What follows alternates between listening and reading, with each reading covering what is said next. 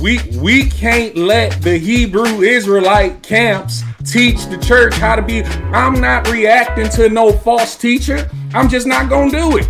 I'm gonna preach the Bible and I'm gonna stand on the Bible. And if folk want to leave the Bible because some false doctrine is being preached on the corner, then you were never in the truth in the first place. We can't let the world, the camps, the false teachers dictate to the church how to be the church. We got to be the church. If we listen, we gonna be reacting to a whole bunch of stuff. Then we all might as well have service on Saturday, then, right? Because that's what they gonna tell us. We all might as well stop eating certain meats. Why? Because that's what they gonna tell us. We can't jump to their music. No, we, I don't dance to their music. We dance to the scriptures. And when the scripture speaks, that's what we speak. But no, we cannot be reactive as the church. We have to be proactive preaching the gospel, standing on truth. Whoever want truth gonna get this truth. If you decide to go off to one of them false camps, then then then you left the truth. But we cannot be reactive when it comes to the gospel.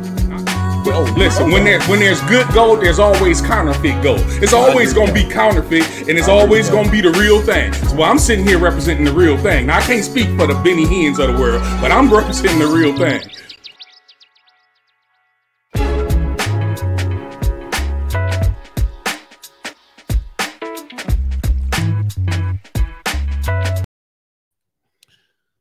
Right, grace and peace, everybody. God bless you. This is Elder Mike with your urban church, and we are educating the culture for Christ. Grateful, grateful, grateful to be on tonight. Uh, uh, grateful for all of you that are jumping on. Won't be on long tonight. Um, just get a couple things situated, but I want to deal with the subject real quick on how to handle the heretic.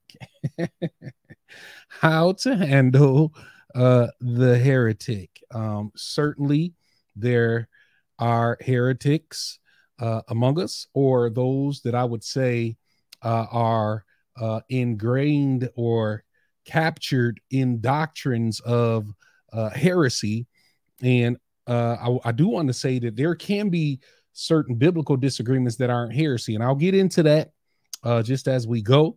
Uh, but grace and peace. I just want to say blessings to everybody. Appreciate those of you that have joined us. Uh, do me a favor and share the video. Encourage somebody. Let them know Elder Mike is on live, uh, about to delve into the Word of God. Deal with this. Uh, I think a very uh, needful subject to address uh, that hopefully and prayerfully can be helpful to all of us. Because at the end of the day, uh, we want to please God in all we do.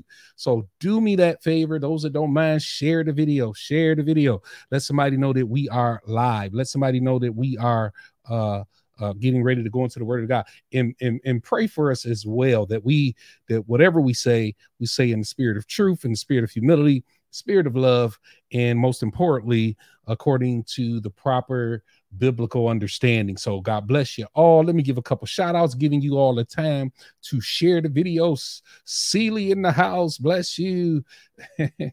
Always calling us weirdos, but bless you. Appreciate you.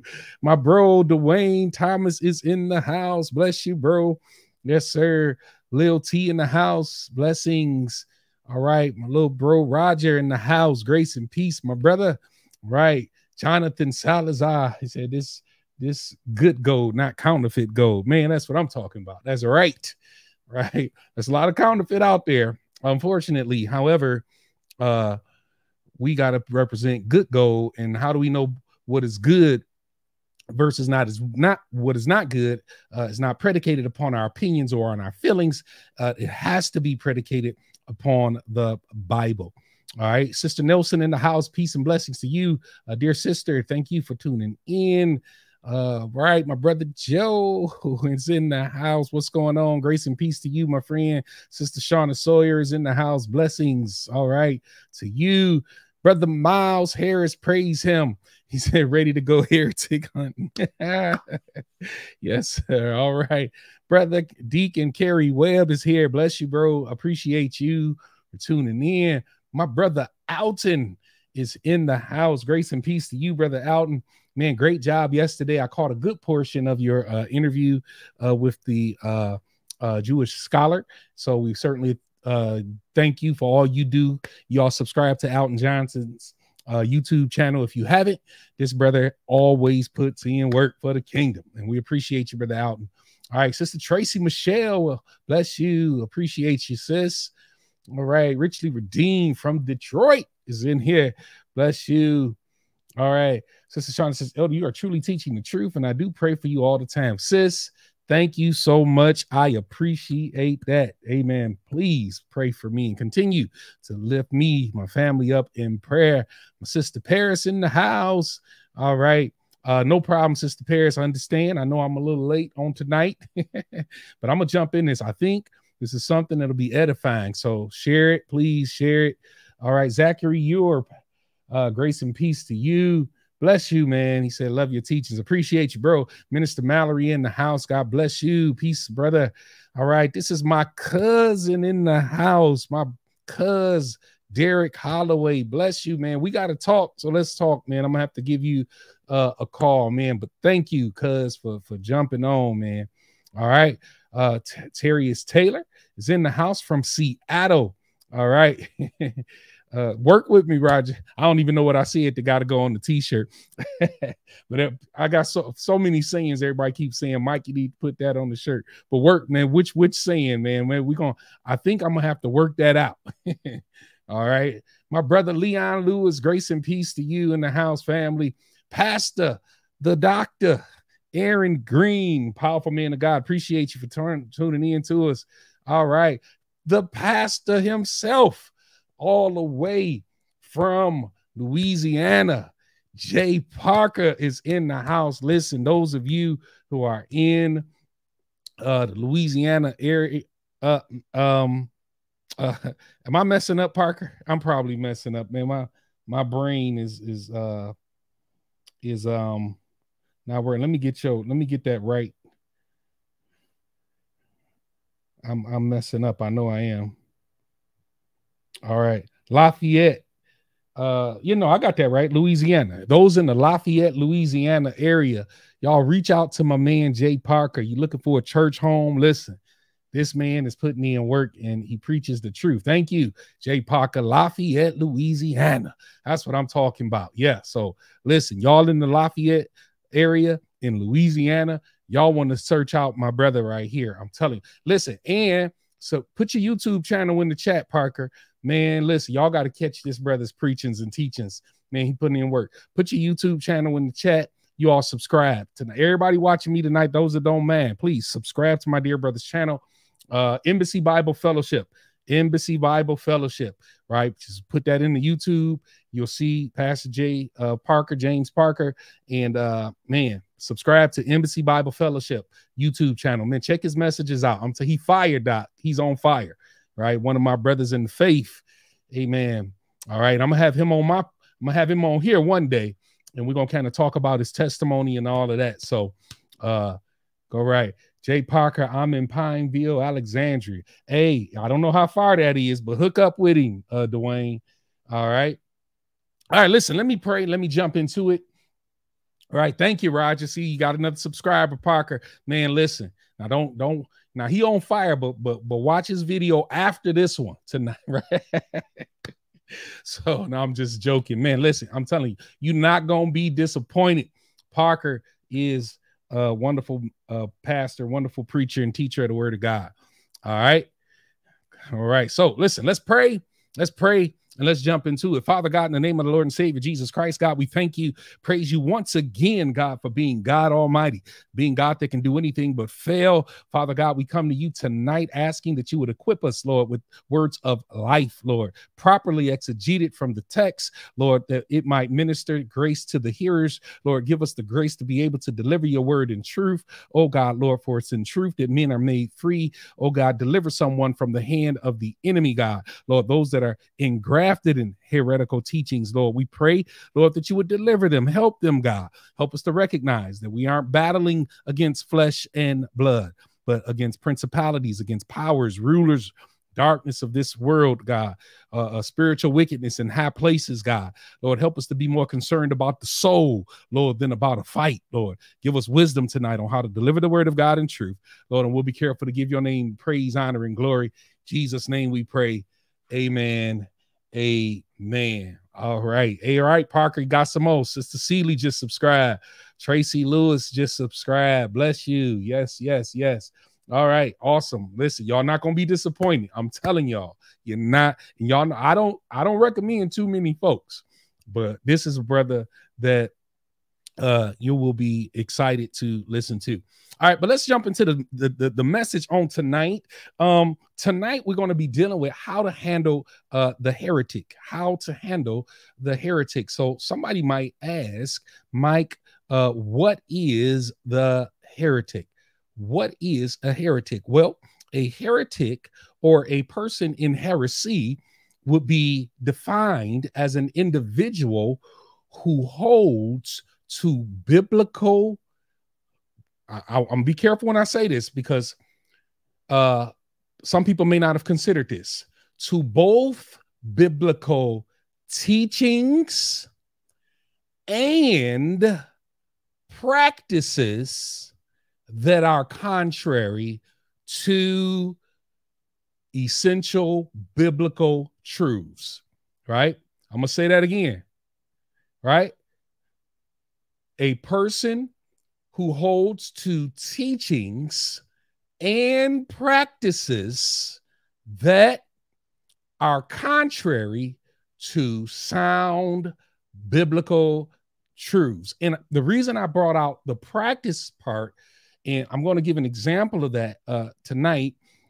There are people who they will tell you, you know, Elder Mike, we hold to the uh uh, uh, uh, essentials of Christian doctrine. You ask them, Do you believe in the one God? They say, Yes, we believe in the one God. You ask them if they believe that God is one and one uh, in essence, three distinct persons, uh, in, and they'll say yes. So they hold to the triune nature of our, our God. You ask them if they believe in salvation by grace through faith alone. Uh, many of them will say, Yes, Mike, we believe in salvation by grace through faith uh, alone. And so they'll, they'll, they'll, you can look at their statement of faith and you'll find that you go through the statement of faith uh, on their websites, and the statement of faith uh, seems as though it is in alignment with the word of God. However, when you carefully consider some of their practices and or some of their teachings sometimes you will find that they go against sound doctrine. And i'm going to give you an example of that on tonight. Well uh let me go to um how many of you have heard of pastor uh joel uh osteen? All right pastor joel osteen is a person who seems like a really nice guy. and again, this is not bash Pastor Joel Osteen hour. That is not my intent. However, this is a correct false doctrine hour, right? Pastor Joel Osteen preaches a gospel that is very problematic when we consider the totality of scripture. Uh, when you have a ministry who has uh, publicly said that they will not preach against sin or sinful lives, right? Thank you, uh, Brother Roger. America's biggest church, right? Uh, they will not preach against sinful lives. Uh, and so you go there, you get the warm and fuzzy message, uh, but you don't get conviction, right? Because I'm going to hear, I'm here to tell you that repentance is an essential doctrine and uh, or uh, the practice of repentance. Bless you, Mike Witt. Thank you so much for the super chat, my bro. Uh, the practice of repentance is essential because no one can be saved unless they truly repent.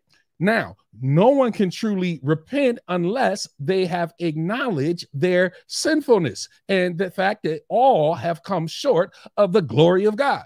But, uh, but, but, so, so I'm churches that refuse to preach against sinful behavior or to identify when people have gone astray or have gotten off track and refuse to deal with sin, that's extremely problematic and falls into the category of heretical practices. And it is a practice by virtue of non-compliance. I'll say that again. See, that the Bible is filled with truths not only that we should practice, but that we should display in our lifestyle. A preacher that does not deal or address address uh, sin is not a Bible preacher. Go to Acts chapter number two. You'll find that the apostle Peter, when he preached, he preached against the sin of the people. He looked at those Israelites, those uh, uh, uh, Jews that had gathered from all over the world, and he said, You by wicked hands have crucified our Lord through you know you did it it was your wicked deeds it was your sinful uh deeds and what what was their response? Their response was men and brethren what shall we do? And the first thing peter says to them is repent right? But if you don't preach against the sin, people won't have a conscience of sin, and therefore true repentance can never take place because people will feel comfortable in their sin and they'll believe a, a false sense of security, believing they could live and practice. I'm, t- I'm not talking about one offs. See, I know I was accused by Apostle Lewis of not uh, preaching against sin, but but the devil is alive. I'm not calling him a devil, but the devil is a liar. I'm preaching against sin right now, right? So a person who practices a sinful lifestyle under a false sense of security that God just got to accept him anyway. Well, that's not Bible, and the Bible doesn't teach that, right? But I'm going to give you an example before, and I'm going to the Word of God in just a minute here, but I'm just laying a little foundation. Uh, I'm going to go to uh, Pastor Joel Osteen's uh, statement of faith. Right. Now, here. I know that's a little small. Many of you can't see it. I'll see if I can make it bigger, but then I'm going to uh, read it anyway. But notice here is the belief statements. Notice what it says. We believe the entire Bible is the inspired by is inspired by God without error and the on the authority on which we base our faith, conduct, and doctrine. Now, there's absolutely nothing wrong with this statement. Matter of fact, this is a good statement. The Bible is inspired by God. That word inspired means God breathed. It is without error. That lets me know that he holds to the essential truth of the inerrancy of scripture. Listen, that is a vital Christian doctrine. People who believe, and I'm not talking about in translations, there could be some faults in translations, but if you're going to hold to sound biblical doctrine, then we believe that the Bible, in its original manuscripts, as scribed by the apostles and prophets who wrote the scriptures, they are perfect and without error. And Pastor Osteen says here, the Bible is without error, and it's on that authority, right? It is the authority that we base our faith, conduct, and doctrine. Yes, that is entirely true. However, see, this can be deceiving right? After reading that, you'll say, man, this may be a good church for me to attend. But after careful examination, you find that he does not, he does not preach and teach against sin. So if the whole Bible is without error as pastors, as elders, as preachers, teachers of the word of God. We are obligated to preach it all, not just some of it. You got to preach it all. Hello. So just because you say the Bible is without uh, uh, uh, uh, is without error, right? That's good. You believe that. Now preach it all, because if it's without error, why are you neglecting to preach it all? That's a problem. All right. Let me go on to his next statement of faith here. All right. Uh, what did I do? get back here. Here we go. All right. In one God who exists in three distinct persons Father, Son, Holy Spirit. We believe Jesus is the Son of God who came to this earth as Savior of the world. So he believes in the triune God, the Trinity. Amen. Right? That is an essential doctrine. Yes, absolutely. So, no problem there. Jesus died on the cross, shed his blood for our sins. And we believe the salvation is by placing our faith in what Jesus did for us on the cross. We believe Jesus rose from the dead and is coming again. See, he, there's about two or three essential truths in this, right? The second coming, physical coming of Jesus Christ is uh is an essential Christian doctrine. So I'm not going to read all of these, but what I'm going to I have read them all. And when you read these, there's no issue with any of these. Right? There's no issue with any of these. So this is why I have to point out that sal uh, uh, when we talk about a sound ministry and and a sound doctrine, it is not just checking off a list of the belief statements. Too many of us do that. We got all the I, I believe in this, I believe in that, I believe in this, and I believe in that, and I believe in it. Right? And, and you can check off all the boxes. However, in ethics, right, which is the other side of the coin, let me stretch it just a little bit. So, what epistemology is the word that simply means uh um uh, why something is true or why we believe something you know what makes it true but the other side of that coin is are the ethics. So we can list out the beliefs but are those beliefs ingrained in the life of the believers? Because that's just as important right? That's just as important. It's one thing to say i believe the bible. It's an it's one thing to even teach from the Bible. It's another thing, Church of God, to live according to the Bible. So both are just as important. Both are just as important. Sadly, here in the, in the West, many people have been deceived to think that as long as I have a mental assent to what is true, then I'm saved right? You can cuss folk out. you can go off on them. You can, you know what I mean? You can do all that. You can, and I'm talking on a regular, right? This is who you are. And, and, and, and then, and, you, you like, I'm good though, because I believe salvation is by grace through faith. I've confessed with my mouth and believe in my heart that God raised Jesus from the dead. Well, you, you got half of it right but unless unless unless what you believe have translated into a lifestyle, then you really don't believe what you say you believe. Because think about it, church. If you truly believe what you say you believe, then it should translate into your life. So there, there's orthodoxy, which means right teachings. Then there is orthopraxy, which means right practicing or living. Right? Living. See, both are important. And I'm let me show you some Bible. Let me show you some Bible. The saints need proof, no problem, because we a Bible uh, teacher. One of the models of the church that I attend is that we are a Bible believing church, right? And so I believe that we ought to be Bible believing teachers, which is what I strive to be. So if you say, "Well, Michael, I need some scripture for that," I'm going to say, "You you ask the right thing." Let us give you some scripture right? Now, watch this here. Let me share the screen. Whoop, not that one. Let me let me share the Bible this time and let's get to it. Now, watch what Paul tells Timothy, a young pastor in the faith. He gives him some sound instructions. Now, watch this. And I'll start at verse 13, build some context here. Paul says, Okay, Timothy, till I come, give attention to reading, to exhortation, and doctrine, right? So this is important. Reading, right? And these are these were actually uh, uh liturgical practices.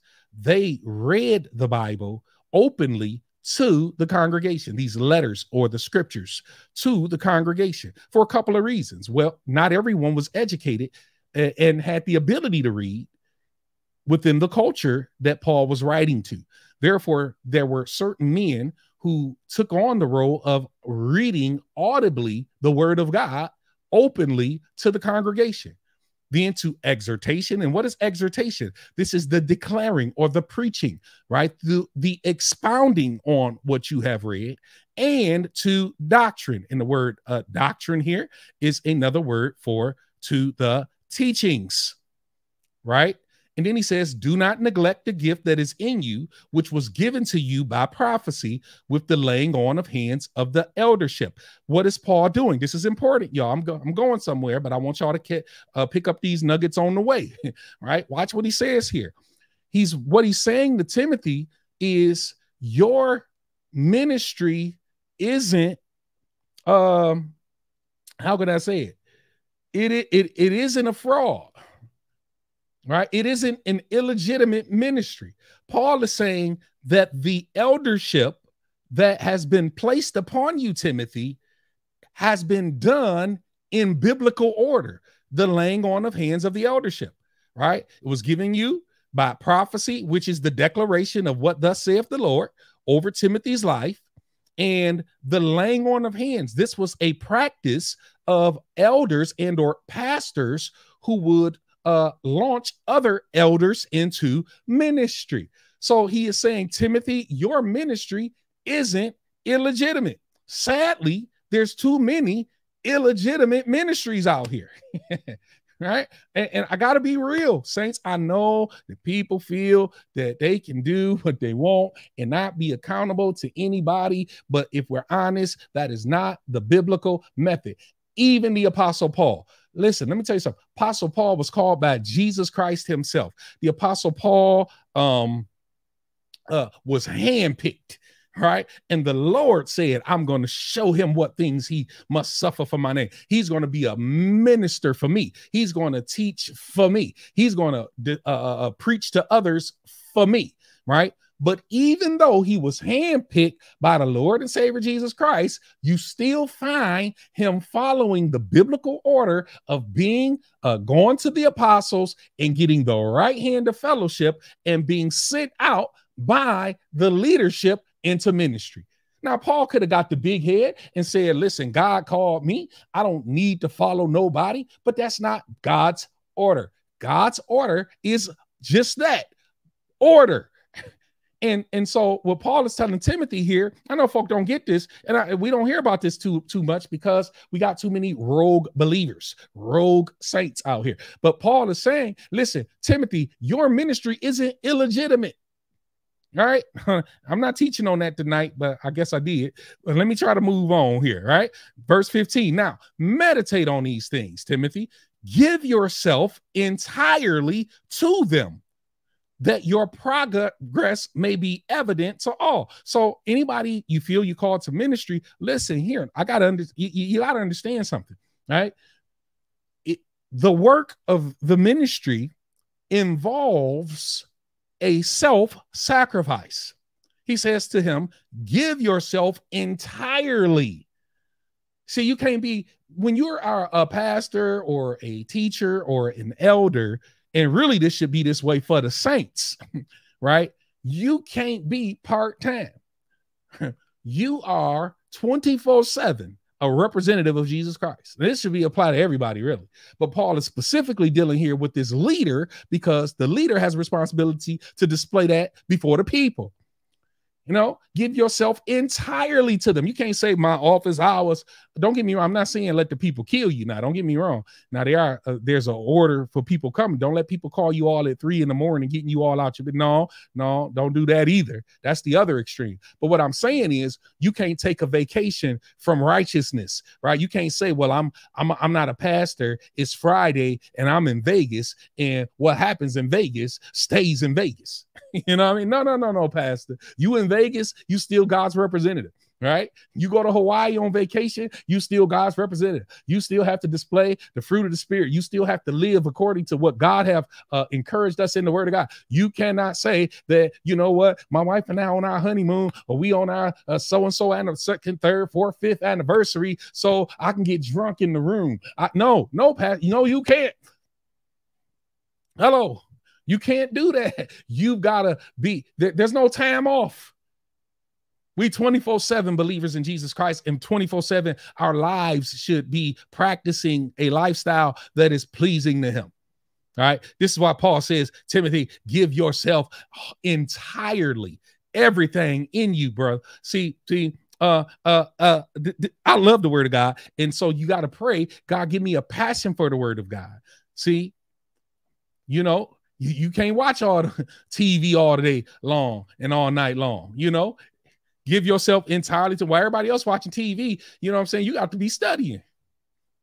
Lord have mercy. Uh, it's just so much in this. Let me get past this. He says that your progress may be evident to all. In other words, the, the, the calling upon your life will be validated, right? Through your uh through the ministry God gives you. It'll be validated, right?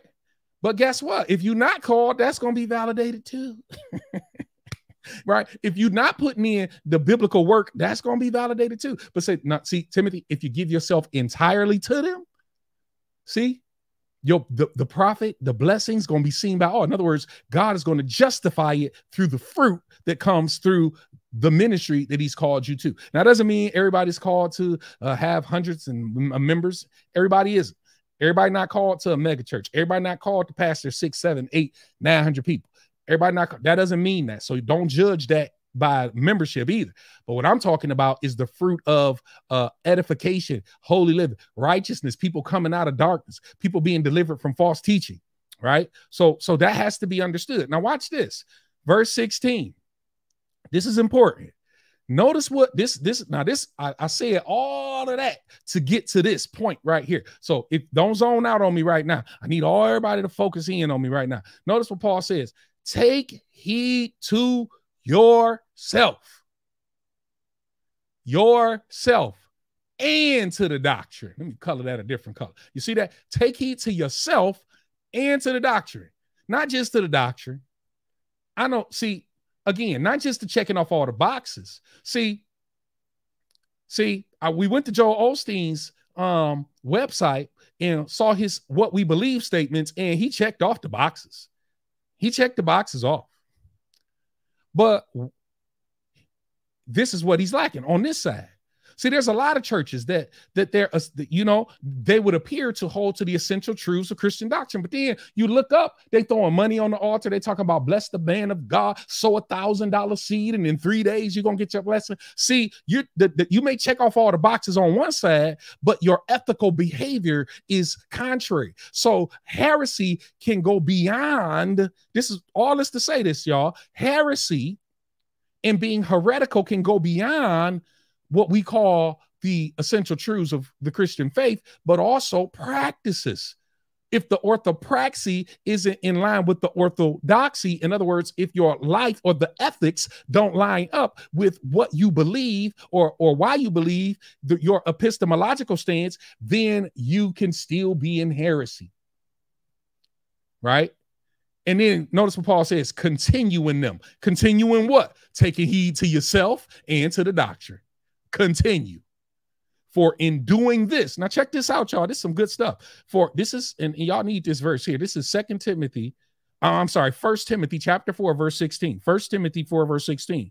He says, For in doing this, what? Taking heed to yourself and the doctrine, he says, you will save both yourself and those who hear you. See, you will save both yourself. So you got to take heed to yourself. You'll save yourself. And then when you preach the right doctrine, you'll save those that hear you. See, you see how that works? this is important stuff right here, y'all. So we have to do it. Thank you, KL. You said it beautifully. Right interpretation and right application of scripture. Absolutely. So that has to be taken into consideration. Now, let's get to this. Now, when it comes to people in false doctrine, how then should we go about? How then should we go about handling them? There have been some conversation. I might get kind of some of y'all might even disagree with me, but but but but y'all know another one of my sayings we might need to put on this a t-shirt is uh this gonna bless you. I think I think this gonna bless you right here. Because there's been some discussions about you know how to handle the heretic. And there are some who believe that you know it's okay to get smart with a heretic. I mean it's okay to holler and scream at them and call them out their name. It's okay to even cuss because they coming against our God. Let, let me let me go to some old Bible here. I feel a spirit of resistance. I'm, I'm, I'm just kind of joking. Let's go to Second Timothy chapter number two here. Second Timothy 2. And I'm gonna break what the Bible says. See, all these folks be talking. See, they, and then they they they play it off like I do this because I love Jesus. No, sometimes you did it because you was mad. You did it because you was angry. Don't blame it on God. They, I, I, I, I can't stand people who, who, who, who talk bad against my God, and I can't. I see. I can't be weak. No, no. Let me tell you something. Meekness is not weakness. It's not weakness at all. See, anybody can go off. Trust me. You know, I would be lying to you if I told you that Elder Mike uh, never feel like going off. oh, Elder Mike feel like going off sometime. Oh, yes, I do. Woo, thank you, Lord.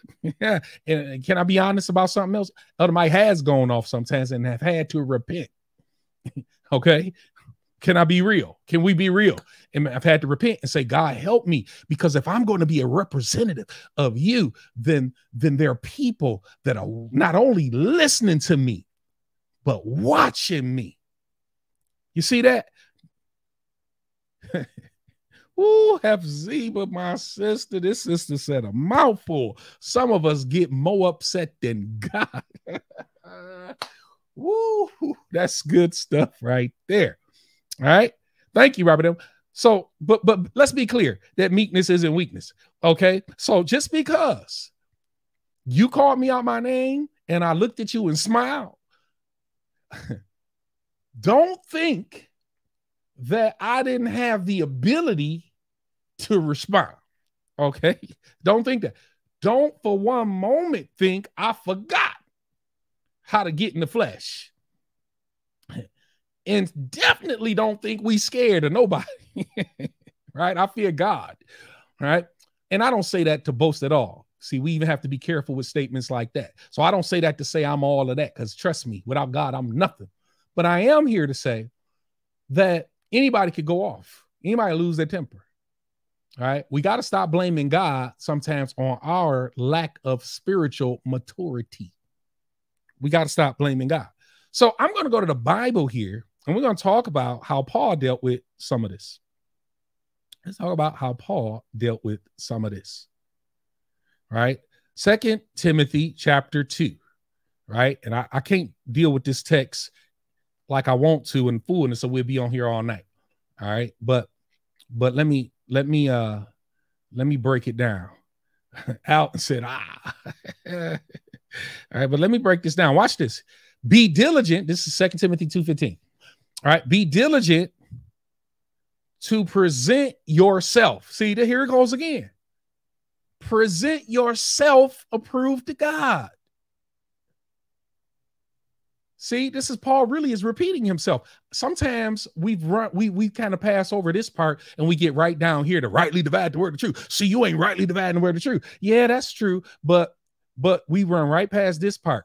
Present yourself approved to God a worker who does not need to be ashamed. See, sometimes you should be ashamed by behaviors that are not approved by God. And just because you saved don't mean God approves all your behaviors. See, Paul says, so be diligent. In other words, you got to work at this, right? Be diligent. It is a practice that we present ourselves approved to God, a worker who doesn't need to be ashamed, then rightly dividing the word of truth. All right, let me move on. But shun profane and idle babblings, for they will increase to more ungodliness. So there are people who are talking nothing. Profane is that which is ungodly, or that which is vile, or that which is contradictory to scripture. And idle, this word idle means empty babblings. So there are a lot of people that's talking a lot and saying nothing. That's what idle babblings are right? They, they talk a lot, but they're not saying anything sound or edifying. Paul says, Timothy, Timothy, you avoid folks that are not talking sound, edifying doctrine, but rather they're talking profane, contradictory, that which is ungodly, that goes against scripture. And then notice what Paul says, for they will increase to more ungodliness. So notice, no, this this is important. Oh my goodness, y'all catch this. So bad information leads to more ungodliness. So bad teaching leads to bad behavior. bad conduct, bad ethics. See, watch folks that could just, you know, can, can just be ungodly and don't even blink and be looking at you like, huh, huh, like, like, huh, what I do? The devil is a lie. No, you need to practice, right? Watch this. Their message will spread like a cancer. Now, watch Paul deal with a couple heretics. He calls them out. Hymenaeus and Philetus are of this sort. So, how do we handle the heretic? Well, it's it's there's nothing wrong with identifying who the heretic is. Now, let's be clear here that Paul would have done his Paul would have done his uh, due diligence, right? You don't just a person say something wrong and all of a sudden you just blast them. No, Paul would have done his due diligence and reached out to these individuals, right? But Paul says they have strayed concerning the truth. You know what this means? We they were in the truth, or at least they appeared to be in the truth, but they've strayed. A stray is some person who was in line and now he's gotten out of line. So Paul is at liberty now to have to expose these men because Paul doesn't want people to hear their message and catch that bad doctrine cancer. So he says Hymenaeus and Philetus are of this sort. So so these two brothers have increased to more ungodliness through vain babblings, right? They've strayed concerning truth. And here was the truth that they strayed away from, saying that the resurrection is already past. Do you all know that there are full preterists that still preach this today? The resurrection has not already passed. I can prove it. I'm here and I'm not in my glorified body. So that's proof that the resurrection hasn't already passed. And notice the reason we have to address false doctrine. So, how do we handle a heretic? We don't just smile at him and say it's going to be okay. No, brother, you have strayed. You're preaching false doctrine. Paul called out the individual, then he dealt with the doctrine. This is what they say. The resurrection is already past. This is her- heretical and it has overthrown the faith of some. You see that? identify the individuals or groups that may be preaching or teaching it, identify the actual teachings, identify it.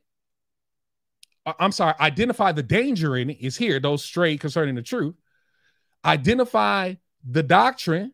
The resurrection is past already. That was the heresy. And then the danger here, they've overthrown the faith of. All right. This so Paul is saying we're dealing with this so your faith doesn't get overthrown. Then Paul goes on to say, Nevertheless, the foundation of God standing sure, having a seal, the Lord knows those that are his.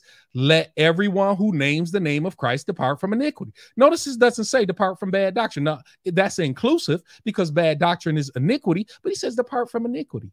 Right? What is iniquity? Iniquity are those secret sins of the heart, right? Those those pet sins that the ones you don't want to get rid of, you know, that attitude problem.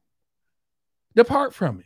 If you name the name of Christ, depart from iniquity. So you know what Paul is doing? He's pointing right back to what he said in verse uh, 15 presenting yourself approved. So, brother, you got to depart from iniquity. It's not just about what you teach, it's about how you act, it's about your ethics, it's about your conduct, right? I'm just going to scroll down here for the sake of time. Right. He goes on to tell Timothy how flee you for lust, pursue righteousness, faith, love, and peace with those who call on the Lord out of a pure heart. But avoid foolish and ignorant disputes. See, there's a time and a season for all things. There's some folk just want to argue, right? Now, there's a time to address. Y'all have seen me bring people on and have conversations, right? There's nothing wrong with that, right? But at some point, that some you got to avoid ignorant disputes. Some folk just want to argue for the sake of arguing. They're trying to build their name on your platforms, right? And all they want to do is generate strife. Now, but here it is. Now, again, our subject tonight, you all, is how to handle a heretic. Now, I want y'all to catch what Paul is getting ready to say because I think that this can be a blessing to the ministries that God have called all of us to do. Now, watch what Paul says here in verse number 25. In humility. So that's step one, right? Be humble. But I'm the one got the truth. Yeah, but you still got to be humble with it. Be humble with it.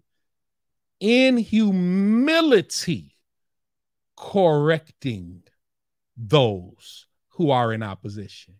I'm going to say that again because this is a lost art.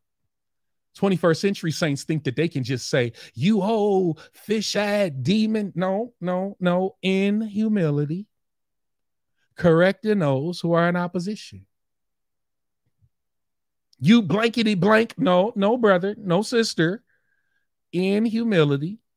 Cor- now, Paul didn't say, Don't correct them. No, we do correct them, but we correct them in humility. Ooh. Question Have you, while being saved recently, maybe a year or two ago, uh, used vulgar language and had to repent of it? Uh, not that I can recall. Not that I can recall within the last uh, year or two. Uh, not that I can recall. I'll be honest about that. not that I can recall. Um, however, you know, all of us, you, you know, I'm certainly I've had to repent of you know, allowing myself to get too upset and responding. Now, don't I'm not saying that to say I'm you know, I ain't sitting up here telling you I ain't seen in 15 years. That's a lie from the pit.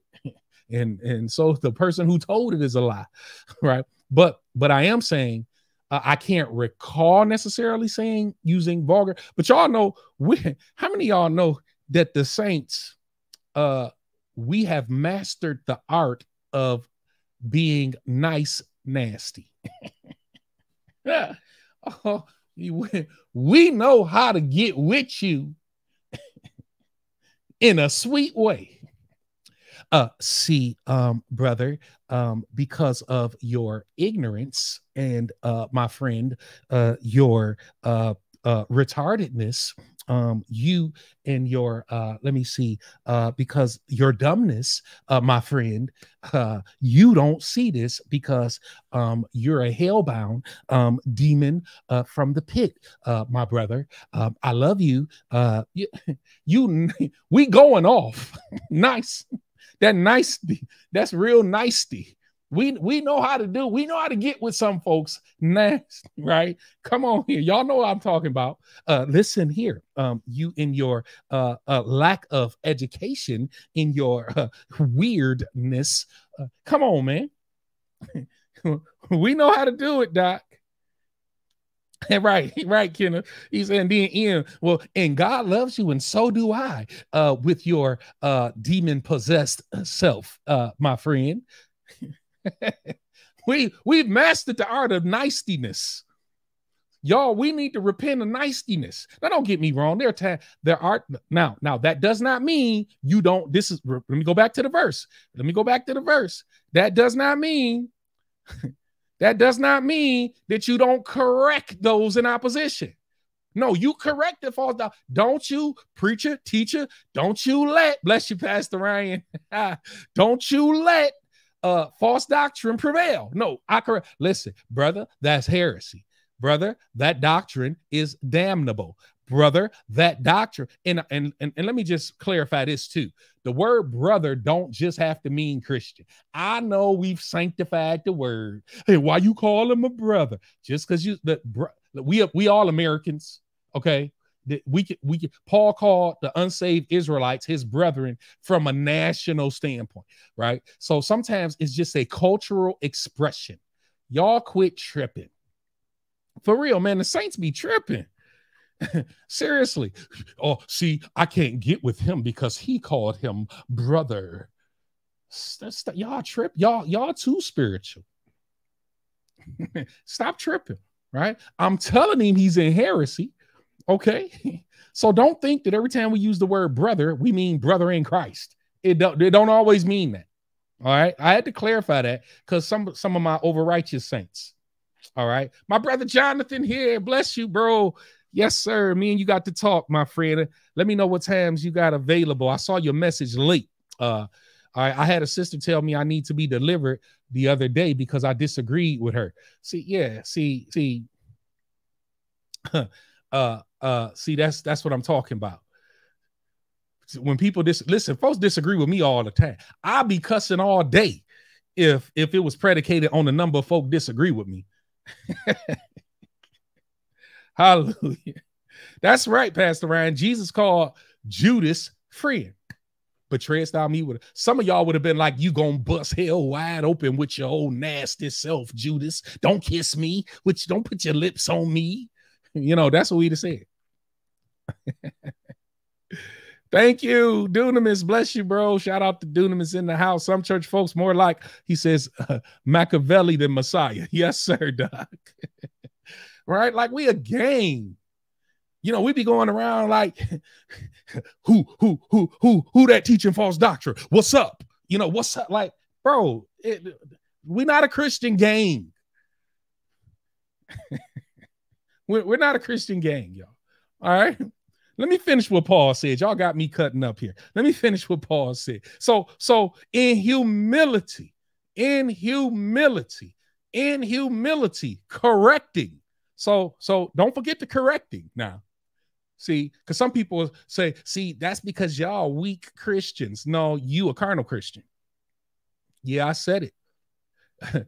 uh, you see, y'all weak. See, you gotta you gotta know how to check these people. You gotta get with them when they talk about my God, when they talk about my Jesus. Look, let me tell you something. God don't need you to fight for him. he really don't. Now, correct the false doctrine. Move on, bro, sis. Whatever. Right now, correcting those who are in opposition. Watch this. If God perhaps will grant them repentance, but let me go back to verse twenty four because this this we got to get the full context of this. Before he even says in humility he says and a servant of the lord must not quarrel. Y'all know what quarrel mean? It mean fight. Don't get me wrong we fight the good fight of faith but we talking about fight now. Blah blah blah. You another one. Yo mama. Yeah la la la la i know this one so-called apologist. I mean he be talking about people. Mama he be like, yeah, your mother's of this, you evil, this, that, blanket. He be cussing. Then he'd be like, okay, now let's turn to the scripture. I'm like, dude, dude, stop it. Now, his doctrine is right. Can I let me let me let me let me rewind that and say that again? His doctrine is right. But and he's correcting, he may be correcting Muslims sometime, and he telling them the truth. He telling them the truth. But then he turned around and said, "You devil." See, that's why you're devil, and you your mama was a devil, and you. The, I'm like, dude, dude that, that ain't God. Y'all hear me? That's not God. Clean cussing. I like that, Sister Tracy. You will know how to cuss clean. Lord have mercy. Thank you, uh, Joe. Put uh, Romans 11 25 in here. All right, because Israel were his brethren after the flesh. All right. Yes. Yes, yes, Roger. I was trying not to call him out, but yes. Now some of his doctrine wrong. Don't get me wrong, but some of it he be talking right. I can't get with him though. I can't get with him, and that your ethics aren't right. Right? Take heed to yourself and the doctrine. Take heed to yourself and the doctrine. Right? All right. Now let me let's read on. Now watch this. The servant of the Lord must not fight. And I'm gonna put that in the MeIV version. He must not quarrel right? It doesn't mean you don't engage. Sometimes you have to contend for the faith, right? Sometimes you have to di- even dispute. But quarreling has reference to now it's gone beyond reasonable discussion and y'all just fighting now, right? See, that's why your doctrine false. You, that's why you that, that that's why you a demon. And uh, you you you not even teaching. Now. You're not trying to help this person anymore. See, the servant of the Lord must not quarrel. Watch this, y'all. Y'all ain't gonna like this. I know y'all. Don't I don't want nobody to unsubscribe tonight. Just pray, right? But be gentle to all. Uh, but be gentle to all. Now, gentle don't mean weak. Now, thank you, brother Carnell. Shout out to my brother from another mother. Right? Be gentle. Right now. Now, again, this doesn't mean that you got to be weak, like, oh, okay. Oh, oh. No, no, no. I don't, I don't do that. no, no, no. But gentleness can you can correct them, but gentle to all. This is the Bible, y'all. Right? Thank you, Pastor Ryan. Handle with care. Right? Handle with care right? You want to know why you got to handle with care? Because that's a soul steal. Sometimes we forget that that's a soul. I'm to tell y'all if God were to ever, and thank God he he will not do this. I don't believe uh, none of those books where people talking about, you know, divine revelation of hell. I went to hell for that you lying, sister Baxter. You lying. You have not gone to hell. Out you lie. Divine revelation. Eh, you're a liar. You're a liar. Stop lying on God. I don't believe none of that. Y'all pray my strength, but I don't believe none of that if God were to drop us in hell for 30 seconds, just 30 seconds, and then snatch us back out, I promise you, the horror, the pain, and the anguish of hell, you wouldn't want it for your worst enemy, and you would be pleading with people they could be calling you out your name and you'll be you'll still be crying. Man, you don't understand, man. Come to Jesus. You don't know, man. Hell is hell is torture. The there will be a a a, a pain eternally, man. I'm to you'll have so much patience. Thank God. I don't listen. I don't need 30 seconds in hell. I plead, uh, and thank God he doesn't do that. But I'm just saying, when we realize the horrors of the damnation of the unjust, our heart, our heart will go out to them. Yeah, Joe, I don't believe them. I, and I won't get into it tonight, but I think they lying. our hearts should go out to them. You understand what I'm saying? Because you recognize, you, I'm serious. You'll be like, man, calling me out my, you know, pagan Mike, whatever. Doc, hell is too long and too horrible. I'm here to tell you, you'll have so much patience. And that's what we should be focused on. And, and that's the mentality we got to have. The person that I'm talking to, if they don't repent, they are going to hell. So it ain't about me. you see, this is how the apostles were.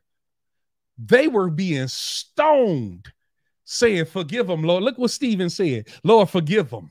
Lay not this sin to their charge.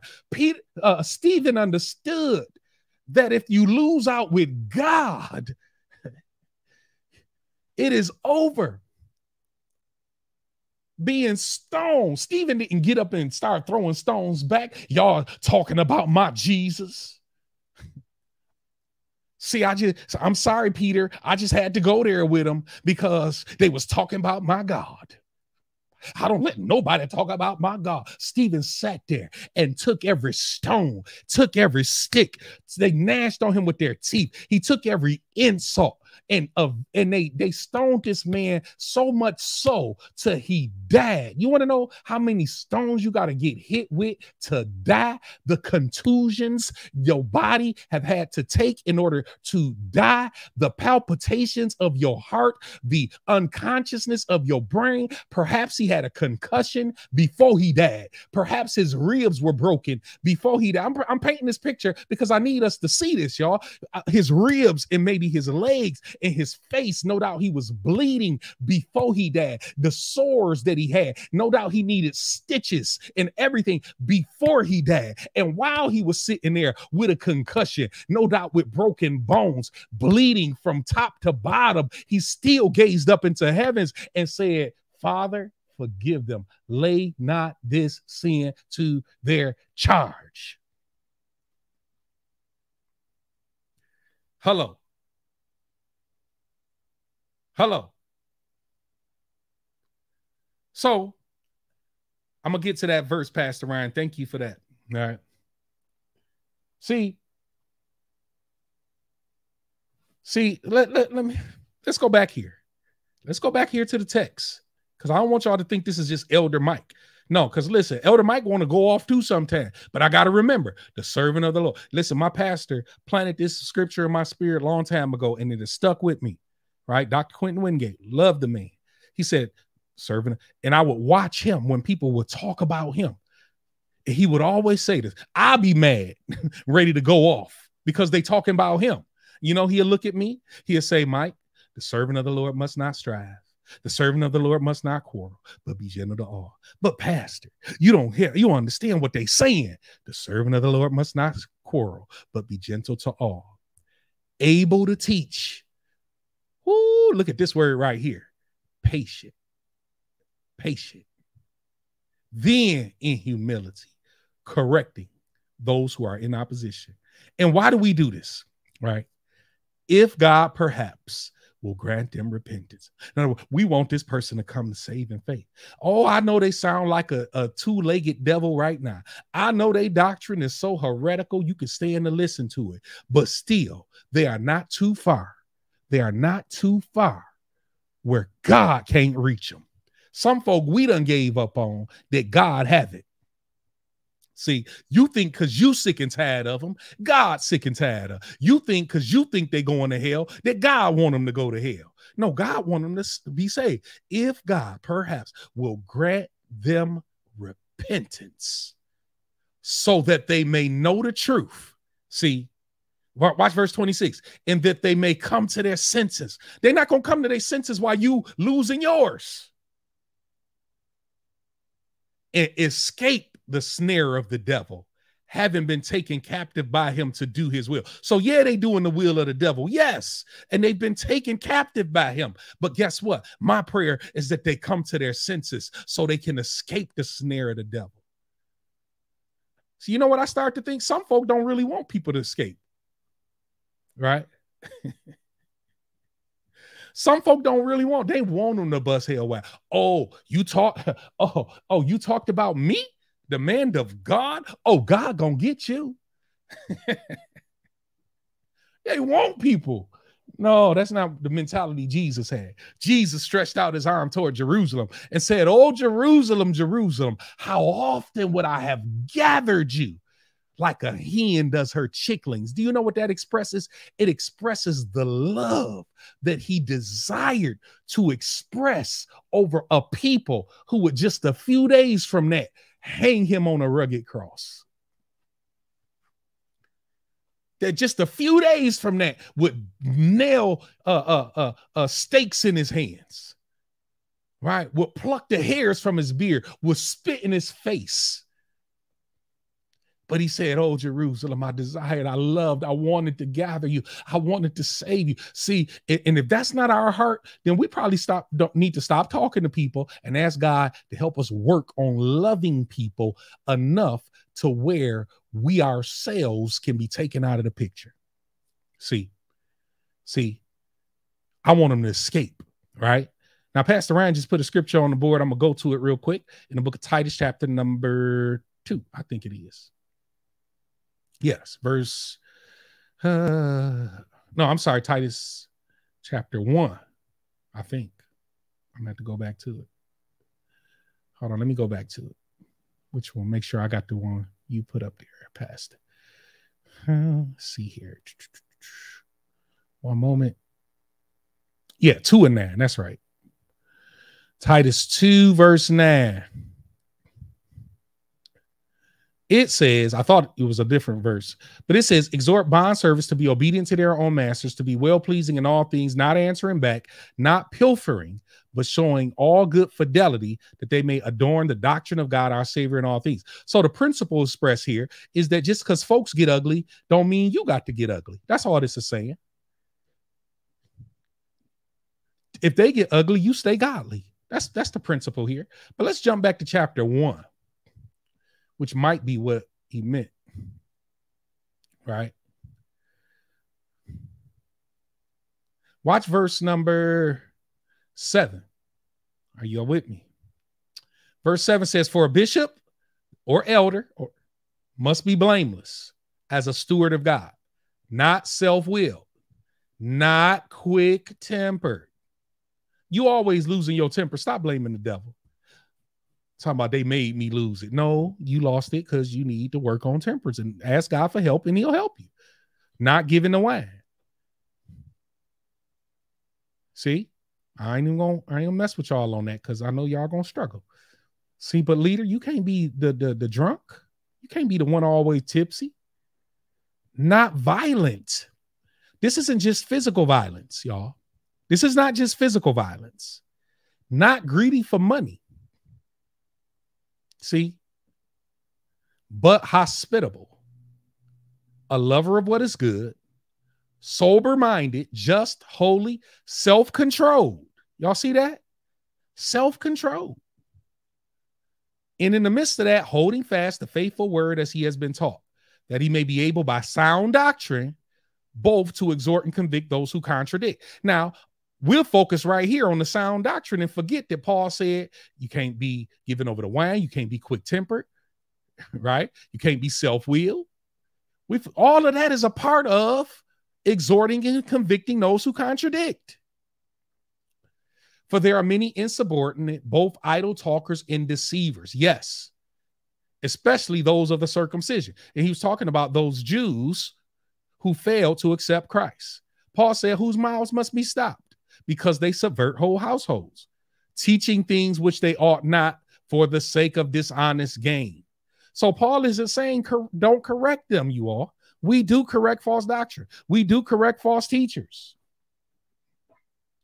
He said, I'm about to lose 10% of my subscribers. Lord have mercy. I hope I don't, but if I do, and they left because I was preaching the truth, then so be it. I'm like Jesus. I'll say to the other 90%, will you also go? I ain't begging nobody to stay, and I'm sure not gonna compromise the truth for no subscribers. Right. But uh hopefully y'all stick around. Hopefully y'all stick around. right.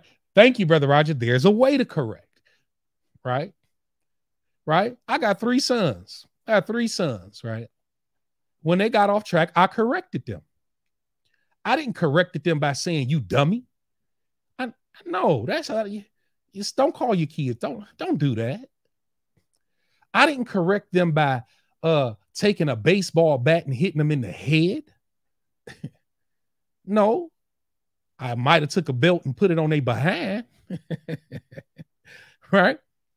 But I didn't correct them by calling them out their name. You dummy. You stupid. No, parents that do that, that that stuff be boiling me. Yeah, and if you're doing that, repent of it and stop. No, we don't. I don't. I, I never did that. Never. You might have felt like it sometimes. What they did might have been dumb, and they or, or crazy, and you know you didn't raise them like that, right? You you didn't raise them like that, but but but uh but no, I didn't. I say, boy, you smarter than that. You are not dumb. you are not stupid. So you didn't have to do this. That's what I told him. And I corrected him. Now, that correction sometimes I had to put a little some on the backside. I think God, by design, have placed, uh, and my pastor says it this way, uh, and I thought, and, I, and I'll borrow it right now. Uh, God have given us a soft spot on the body with no immediate bones in the area. that, that, that, that we can properly chastise the children. Oh yeah, I'm not them. I'm not a timeout kind of father. All right. Hello.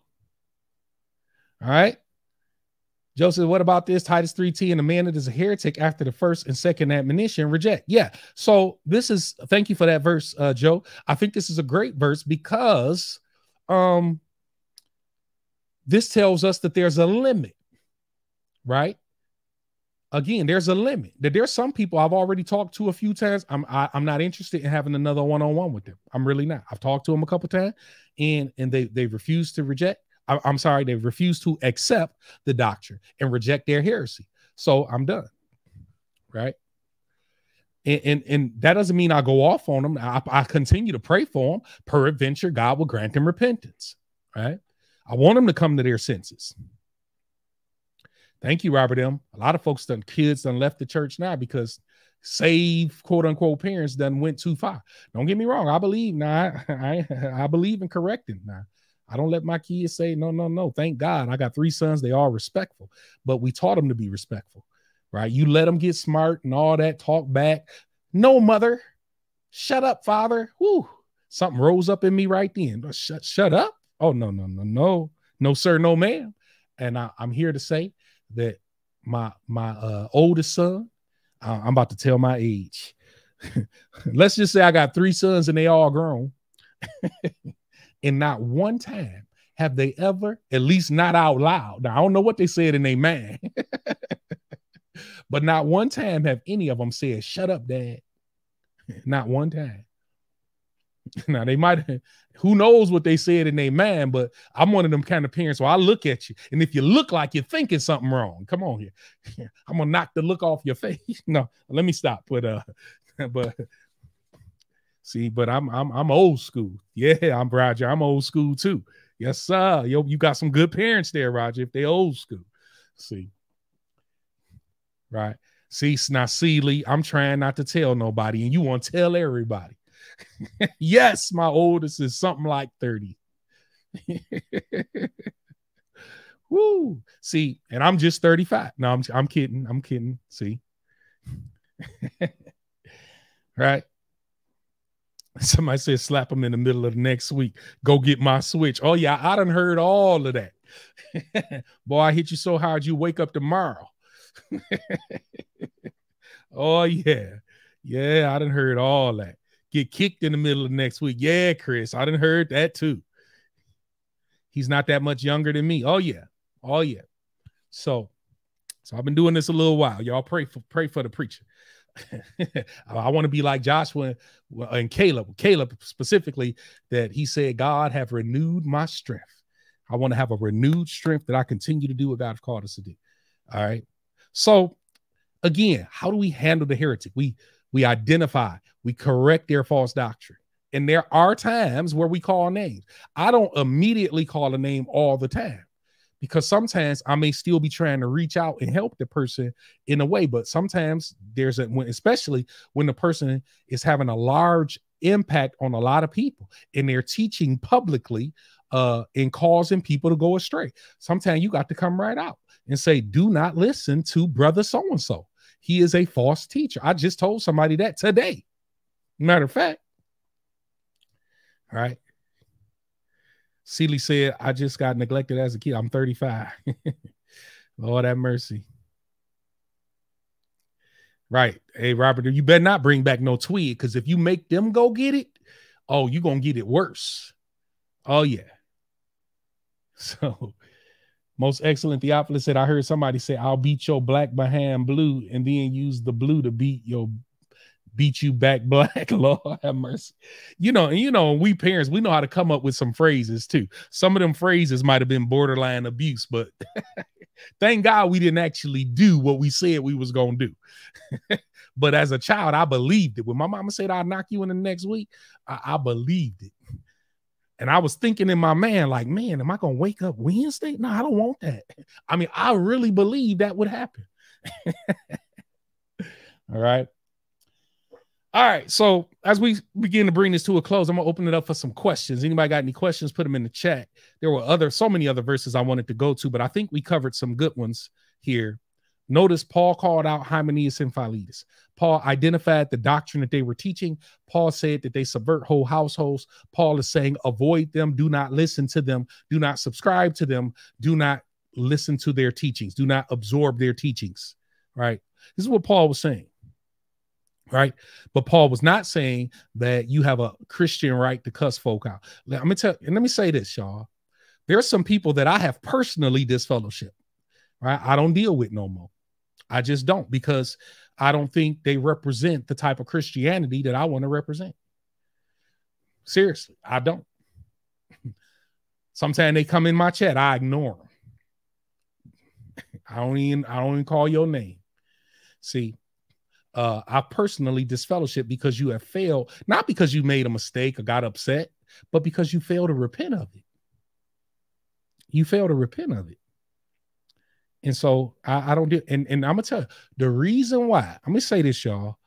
The reason why Christian leaders, pastors, elders, YouTube channels, whatever, can continue to do it is because we don't check them on it. No, we don't check them on it, number one. Because listen, just like we got to call out the false doctrine, we got to call out false behavior. Notice what Paul said take heed to yourself and to the doctrine. And so we, you're almost called y'all a hypocrite, but not, not saying you're a hypocrite.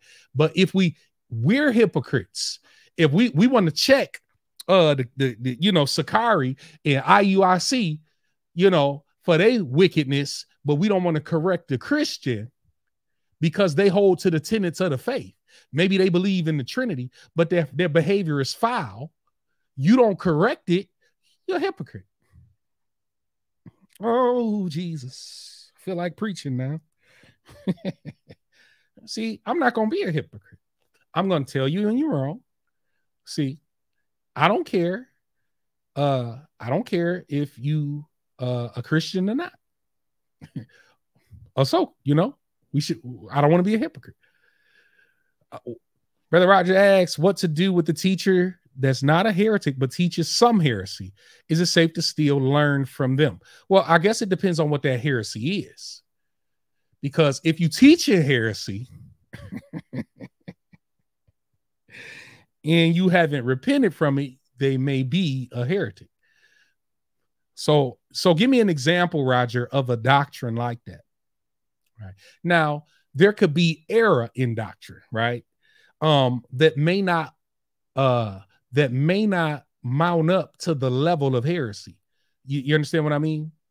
Um, you could be wrong about something, right? You can be wrong about something and not necessarily be a heretic, right? So if you can give me an example of a doctrine and specifically, maybe I can address that more clear.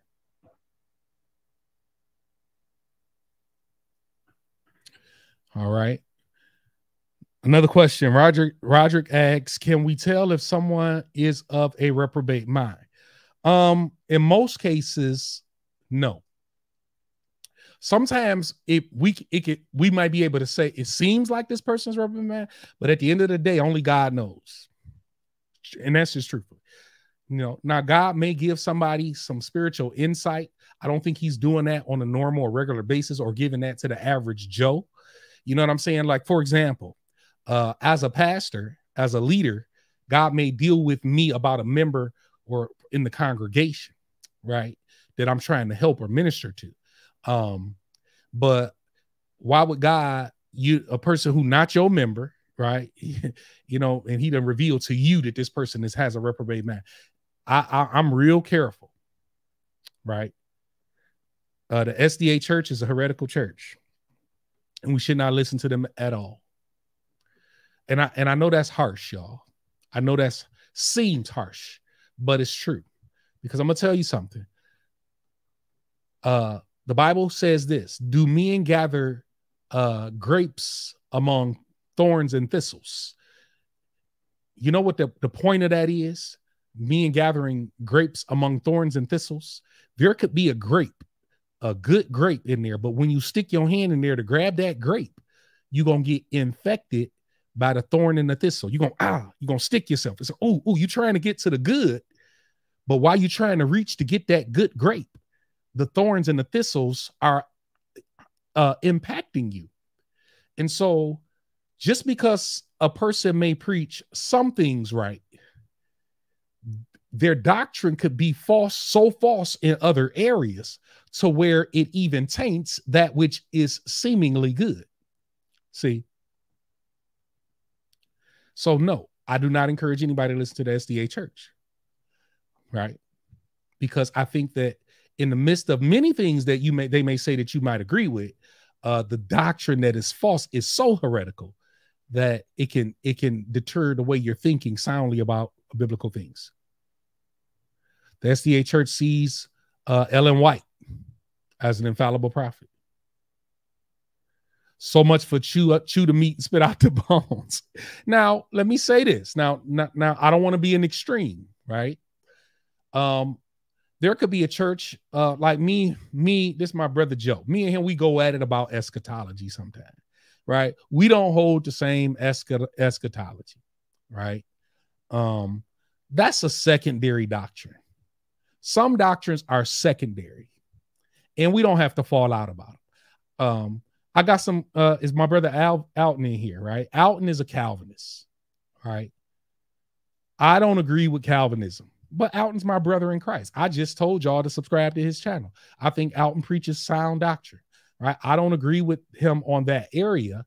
I think that overall it falls into a secondary matter, you know, right? You know, if he starts teaching Calvinism, just change the channel. No, I'm just teasing. I'm just joking. Listen to it, you know, and search the scriptures. Uh, so, but I think that's secondary. All right. I think that's secondary. Um, and so what I don't want to do is go from one extreme to the other. Okay. So I want to be clear about that. Uh, let's see here. Next question. Anthony Hall, please explain First John 3 9. Whosoever is born of God doth not commit sin, for his seed remains in him, and he cannot sin because he is born of God. Bless you, Anthony Hall. Yeah, see, this is where a more modern translation can be helpful, my brother. So let me go to the ESV um real quick and go to what was that? First John 3 9. Uh watch what it says here. Let me share the screen. Right. Notice what he says. No one who is born of God makes a practice of sinning. See, we don't speak in old English language. And when you read that, it makes it seem like if you're born of God, you don't sin at all. And see, that's the heresy that Apostle Lewis teaches. And that's just false. And you got people living in condemnation or lying. got people either lying, saying they haven't sinned, or you got uh, people living in condemnation, knowing they they have, and they keep being told they're not, you know, that they can never make a mistake. Now, we shouldn't. We should strive to live holy and righteously, but we don't make a practice of sinning, right? So let's say I get upset tonight and I call somebody a, a dodo head. I shouldn't do that. That is that's that's sinful. That's sinful. If I call somebody out of their name, hello. If I say you ain't worth nothing, that's sinful. Christ died for that person. Do you hear me? That's sinful. And I would expect all y'all to call me out on it. Now, Elder Mike, and y'all know what I should do? I should come right on here and say, You all, I repent. And I should look that person in the face and I should say, I apologize. You know, though I may be right about the doctrine I'm sharing, I have not been right about the ethics that I've displayed. And I'm gonna tell y'all something. Because we don't check people, folks gonna keep doing it. And guess what? We guilty. See, we good on correcting uh, the heretics who preach Jesus not the Son of God, you know, salvation by the law. You know, we, we don't mind correcting people on that, but we, all of a sudden we get weak and scared when we have to correct our own when their behavior and their ethics aren't lining up with Scripture. I'm gonna tell y'all when we start correcting people, we start holding them accountable, we start saying no until you repent. Uh, you can't come on my channel no more, right? Until you repent, I'm unsubscribing from you until you repent. I can't listen to you no more. When we start doing that, that's that'll help. That's gonna help people repent. But when we say, well, that's okay, that's okay. You know what I'm saying? My brother Cavante, what's up, bro? Appreciate you for tuning in. All right. When we say, but when we when we when we excuse their bad behaviors, but then we we get all self-righteous when it comes to the person who say you got to keep the law to be saved. We're a hypocrite. Mm, Lord, I feel feel the Holy Spirit working. All right. Bless you for the super chat, Elder Joe. Appreciate you, my brother. Right. Let me see. Let me get through a couple more questions here. Uh, how can limited atonement be considered a secondary issue? Uh, because, okay, that's a great question. I have a major problem with the doctrine of limited atonement, right? But the doctrine of limited atonement is simply the belief that uh, so let me tell you what they believe is that everybody who believes will be saved. Okay i want you to understand that. This is why it falls into the secondary category. Now it's important. I i preach against it. Making make make it make i'm making plain here. However uh they do preach that everybody who believes will be saved. They do believe and preach that uh you know, salvation is by grace through faith in Jesus Christ. They simply believe that everybody who believes are the people who God actually shed his blood for. And the people who don't believe, well, Christ didn't, in a sense, waste any blood, right? And so uh, he didn't shed his blood for them. Now, I have a major problem with the doctrine, but when when you hear them preaching, they're not getting up saying Christ didn't die for you. Then they're not saying that. If they did, it might slide over to heresy, right? If they looked at a person and say Christ didn't die for you, they're not they're in heresy. All right, I'm gonna be clear, but they don't preach that, right? The way the reason why it's considered secondary is because we both would preach the same gospel. We really would. You, my Calvinist brothers that I love, we would. I got up on the pulpit and preached the gospel. They got got up on the pulpit and preached the gospel. It's to be identical right? God so loved the world that he gave his only begotten son, that if you believe in him, right, you can be saved, right? You don't have to perish, but have everlasting life. They'll, it's going to be the same gospel, right? But how it all works out and the way they explain it is is quite different than how I would explain it. So I do not make my Calvinist brothers heretics. And I think we should be careful uh, before we make anybody a heretic, right? All right. So it's a great question. Great question right? It's up now. Question, Elder, appreciate your love and teachings. How does this, how does this be nice not fall in the works category? No, listen, it does fall in the works category. Christians should have good works. Let me show you that. Let me show you that. Christians should have good works. Now, works don't save us, but watch this. Ephesians chapter number two, our favorite verse. Our favorite verse, but we often leave a verse off, right? Appreciate you for the question. Though. It's a great question. But watch this, brother. For by grace you have been saved. So it's clear that we're saved by grace through the vehicle of faith, right? So we must have, we must believe, right?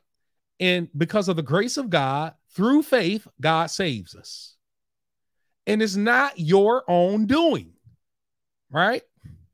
Your works do not save you. It is the gift of God, not a result of works. So our salvation is not a result of works. You do not work for your salvation, which is why no one can boast. Now, we usually stop right here after verse number nine. But watch this, brother. Paul goes on to say in verse 10 For we are his workmanship, created in Christ Jesus for good works. See, James said it this way if you say you have faith and you don't have works, your faith is void. Faith produces good works. See, the faith doesn't save us, but if you have genuine faith, it should produce good works. So anybody who's saying they saved and got faith in God, but they lying, cheating, fornicating, cussing, calling people out their names, something's wrong. Something's wrong. Because they're not producing the good works which God prepared beforehand that we should walk in them. Walk in what? Good works. So Paul was clear you're saved by grace through faith. It's not your own doing. Your salvation is not a result of works. You cannot boast. However, we are his workmanship, the Holy Spirit working in us, so we can be for good works. So, no, every believer should have good works. All right. I want to be clear there. Dunamis asked the question: What if pastor? Uh, what if a pastor teaches bad doctrine but sound secular advice, like prosperity pastor that teaches good money management? That's interesting. I have no problem with teaching good money management, right? But a false prosperity preacher who's talking about sow a seed and in three days, you know, what I mean, you got your breakthrough coming you know, God told me that the the next two people who sow a seed of two hundred dollars, He's going before twelve o'clock midnight. Your breakthrough is coming. All that nonsense, all that garbage. You never see the apostles doing that. That that no, I would leave that church immediately. leave that church. Um, that see, that is the ethics. You might search the by the the the what we believe statements, and it might seem like they landing up. But if they're carrying on like that, then their ethical behavior now has crossed into uh, heterodoxy or that which contradicts orthodox teachings. See? So bad doctrine never is produces good fruit. So if you're a prosperity pastor, you you you know what I mean? I believe in biblical prosperity, right? Biblical prosperity is this seek ye first the kingdom of God and his righteousness, and all these things will be added unto you. Biblical prosperity is this, right? Paul said, I've learned how to how to abound, how to be a base, how to suffer need, how to have, and how to lack. See, that's biblical prosperity is that my soul prospers in spite of my financial dilemma, right? Now, I do agree that the church should be practicing good, sound, biblical uh, money management, right? So I'm, I'm with that wholeheartedly. Thank you. Cavante said that's not essential, and I'm a Calvinist who affirms it. Thank you, Cavante. Appreciate you, brother. See, Calvinist, my brother, that's my brother in Christ, right? You know, a couple years ago I had to help him, but now he all now I'm just joking. he gonna get me for saying that. but no, Calvante is my brother in Christ. We we we we get on the battlefield together, sometimes against some false teaching. So that's my brother in Christ. All right. No problem, Hamilton. All right. Question Do you believe there are principles of the doctrine of Christ, Hebrews 6 1? Wouldn't those principles be essential uh, doctrine? Ye, well, yes. Yes, they would be. Right. And those essentials start with, um, you know, repentance from dead works, faith toward God. Right. So you can't be saved by works. Uh, we must have faith in God. Right. Baptisms. Right. Holy Spirit baptism. Uh, you know um what else he goes on to say uh judgment and all those things right I, am trying to go off top of my head however yes i would i would say those are essential yes there is no second work of grace no there isn't you either got grace or you don't right hope i didn't miss any questions i'm trying to catch them all uh, uh, i wouldn't consider a person who believes that a heretic all right. But uh, it is error though. Gotta show the false prosper got gotta show the false prosperity gospel preachers that some love elder gotta be fair now. He said he messing with me. Oh yeah. See the, the false prosperity doctrine. No, that doctor, listen, man, listen. and I know you you just messing with me, but let me say this: that false prosperity preacher, he gonna bust hell wide open if he don't repent. He's raping the people of God. I'm talking about these sow a hundred dollar seed the next 10 people. And he living in in the best of houses, driving a Porsche, and you know what I'm saying. So to the, you, if you bless the man of God, you, you and stop it. Mm-mm. Tone Mitch says, I believe that Calvinism checks the boxes, but if sinners are doomed from the start with no chance of salvation, that's not secondary doctrine. Well, wait a minute now. Um, I don't think they believe that in that way. Um, however, um, they don't preach that as a gospel. You understand what I'm saying? They, they don't preach that as a gospel. Uh, and again, there are some people that's going to hell, right? Got me defending my Calvinist brothers. Lord have mercy. There are some people who are going to hell, y'all. And it's because they won't repent, right? God knows who they are, and He knew who they were before He created them. Yet he created them anyway.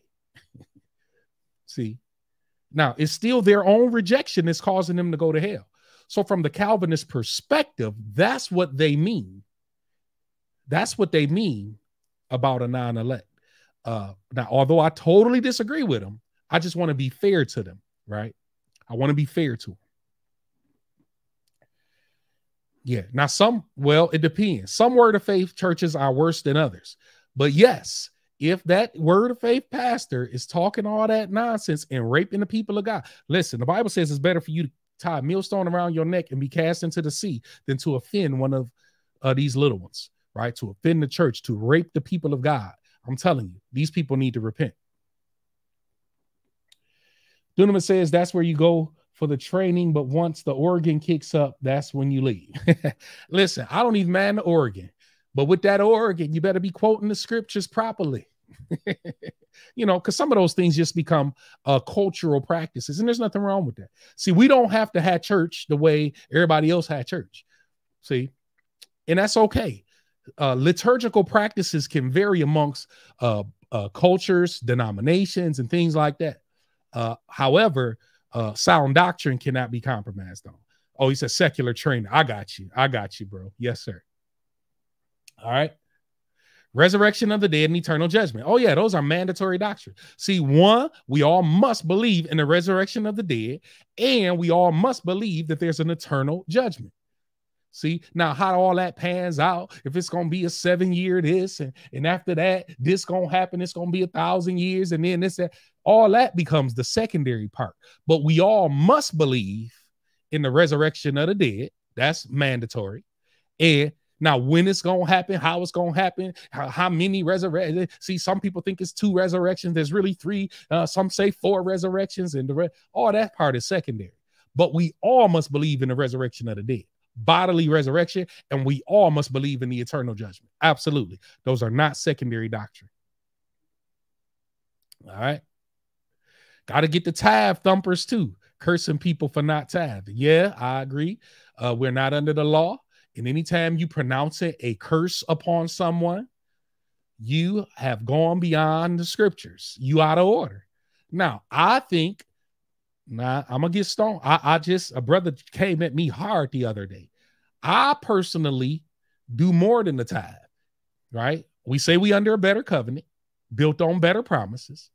That's my conviction, right? I encourage people to give, you know, above 10%, right? Some people can give more than 10%. See, I'm gonna tell you, the flip side of this is God gonna get some people for not for not supporting the ministry like they should. Can I get a, y'all? See, people don't want to hear this part. God gonna get some people because you dropping that sanctified George Washington, you making six six figures. See, so we got to get them both. But you're you're right, Pastor Ryan. When people go on, they start saying, if you don't have, you curse for the curse, you better bless it, man. No, you out of order. See, I believe in the principle of tithing. And that simply means is that, you know, that a good practice, and a lot of church folk give 10%. There's nothing wrong with that.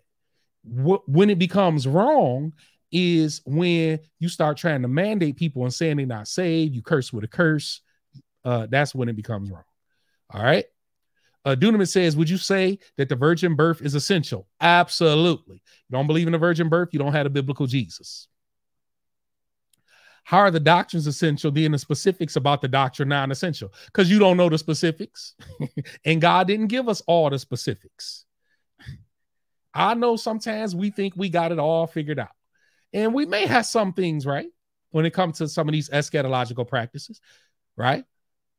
But, but, you know, it's not. A, in other words, if you pre trib and I'm post trib, or if you you post trib because I think you are post trib, and I'm pre trib. God is not going to send me to hell because I thought He was going to come before He did. Think about that. What sin is it in believing that He was going to come before He did? So let's say I'm pre trib and post trib is right, and He comes post trib.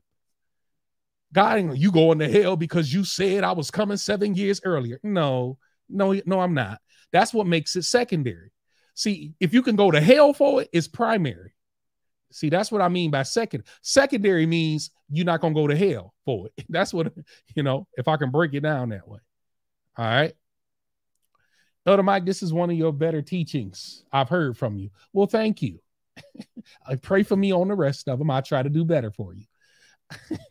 I see the Bible as a mirror. Be ex- examine self rather than examining others. Yeah, I, I, I agree with that. Now, don't get me wrong.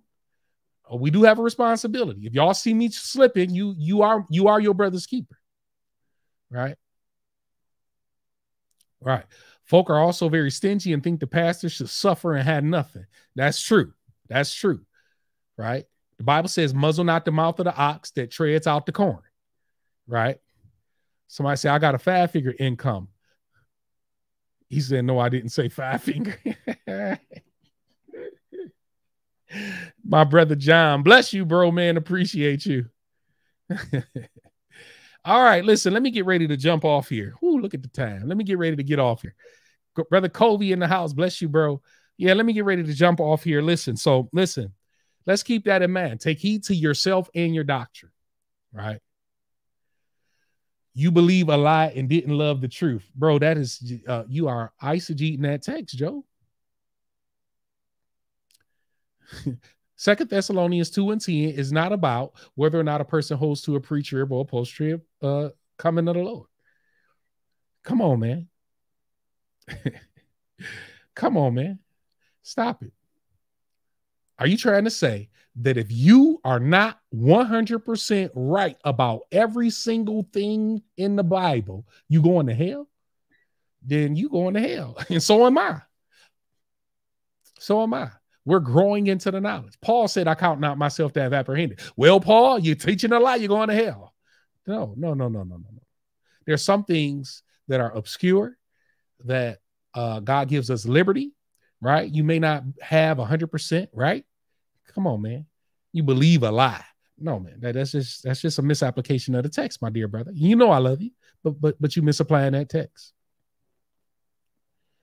All right, listen, let me jump off here, y'all. Love y'all, man. Appreciate y'all for tuning in with us on tonight. Um, uh, we will talk to you all on the next time. Y'all have a wonderful evening.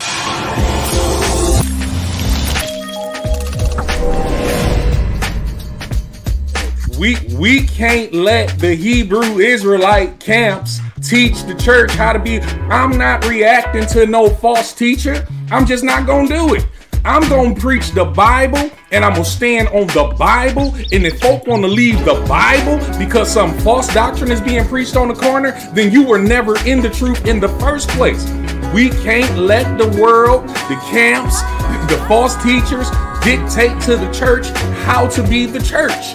We got to be the church. If we listen, we gonna be reacting to a whole bunch of stuff. Then we all might as well have service on Saturday, then, right? Because that's what they gonna tell us. We all might as well stop eating certain meats. Why? Because that's what they gonna tell us. We can't jump to their music. No, we. I don't dance to their music.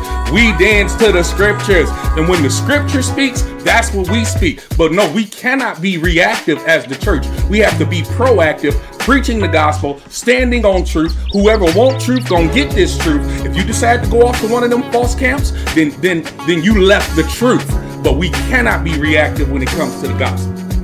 Well, listen, when there when there's good gold, there's always counterfeit gold. It's always gonna be counterfeit, and it's always gonna be the real thing. Well, I'm sitting here representing the real thing. Now, I can't speak for the Benny Hinn's of the world, but I'm representing the real thing.